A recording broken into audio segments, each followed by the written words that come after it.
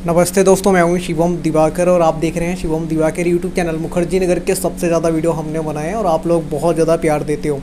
आज हम एक फ्लैट में मौजूद हैं और यहाँ पे दो रूम हैं। यहाँ पे एक रूममेट की आवश्यकता है, यानी कि एक पढ़ने वाली हमें एक लड़की चाहिए। और यहाँ पर मैं आपको ये दिखाऊँगा सबसे पहले कि ये फ्लैट कितना बड़ा है, क्योंकि यहाँ पर किचन भी है फ्रिज भी है आरओ भी लगा हुआ है और यहाँ पर दो रूम हैं।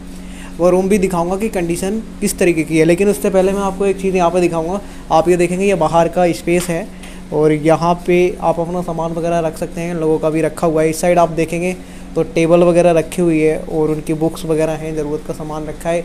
यानी कि ये बाहर का खाली स्पेस है, काफ़ी ज़्यादा है। उसके बाद अगर बात करें तो यहाँ पे एक रूम है, जिसमें मैं अभी आ गया हूँ और कूलर चल रहा है यहाँ पे। रेंट में आपको बाद में बताऊँगा, पहले आप इस वीडियो को देखिए। यहाँ पे दोस्तों, इस रूम में थ्री बेड लगे हुए हैं।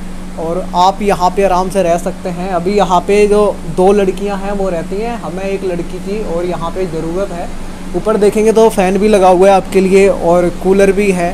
तीन बेड हैं, कोई प्रॉब्लम नहीं है। और इधर आप देखेंगे तो यहाँ पे दोस्तों वॉशरूम वगैरह है, जो कि काफ़ी ठीक ठाक है, बड़ा है, कोई दिक्कत नहीं है। और फिर एक रूम यहाँ पे है।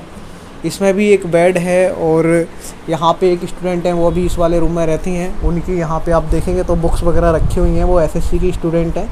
टेबल, बुक्स और यहाँ पे भी उनकी कुछ बुक्स रखी हुई हैं। इसकी भी कंडीशन काफ़ी अच्छी है। ऊपर आप देखेंगे तो हवा के लिए अच्छा सा पंखा लगाया है, जिसमें अच्छी सी हवा भी आ रही है। इधर आप देखेंगे तो वो एसएससी की स्टूडेंट हैं, उनका सामान वगैरह, बुक्स वगैरह रखी हैं। यानी कि इस बिल्डिंग की कंडीशन काफ़ी अच्छी है। लेकिन यहाँ किचन है और क्योंकि ज़्यादातर हम जब रूम लेते हैं या फ्लैट लेते हैं, हमें फ्रिज वगैरह वहाँ कुछ नहीं मिलता है, लेकिन यहाँ पे फ्रिज भी है और आरओ वगैरह भी शायद यहाँ पे लगा हुआ है। ये किचन है जहाँ पे आप अपना खाना बना सकते हो, यहाँ आर भी लगा हुआ है। क्योंकि जब आप नए आते हैं तो आपको फ्रिज वगैरह ये चीज़ें कुछ भी नहीं मिलती है, खुद लगवाना पड़ता है। इन लोगों ने खुद लगवाया है। और रेंट की बात की जाए तो लगभग यहाँ पे आपको पैंतीस सौ देना होगा जब आप आएँगे तब, और सिक्योरिटी मनी अलग से है इसमें और बाकी का जो यहाँ पे स्टूडेंट रहते हैं, आप उनसे बात कर लीजिए। यहाँ पे ये वाला जो रूम है, इसी में ही हमें एक रूममेट की आवश्यकता है, क्योंकि जो भी स्टूडेंट आएँगी, वो इस वाले रूम में रहेंगी। उसमें पहले से ही एक स्टूडेंट रहती हैं। रेंट मैंने आपको बता दिया है, लगभग आपको साढ़े तीन हज़ार रुपये देना पड़ेगा। सिक्योरिटी मनी अलग से है और बिजली का बिल दोस्तों अलग से पे करना पड़ता है। बाकी का फ्रिज वगैरह आरओ वगैरह यहाँ पे है। कंडीशन बहुत अच्छी है, क्योंकि जब नए होते हैं हम तो हमें ढूँढने में काफ़ी दिक्कत होती है, लेकिन ये आपको पहले से ही मिल जा रहा है तो बेहद अच्छी बात है।